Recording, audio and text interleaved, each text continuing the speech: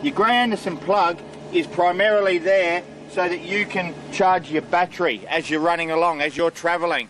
So you don't get to where you're going and you, you've got no power. You will be able to charge your battery right up, get it ready. When you land where you're going, you'll be able to use your battery. It'll be fully charged.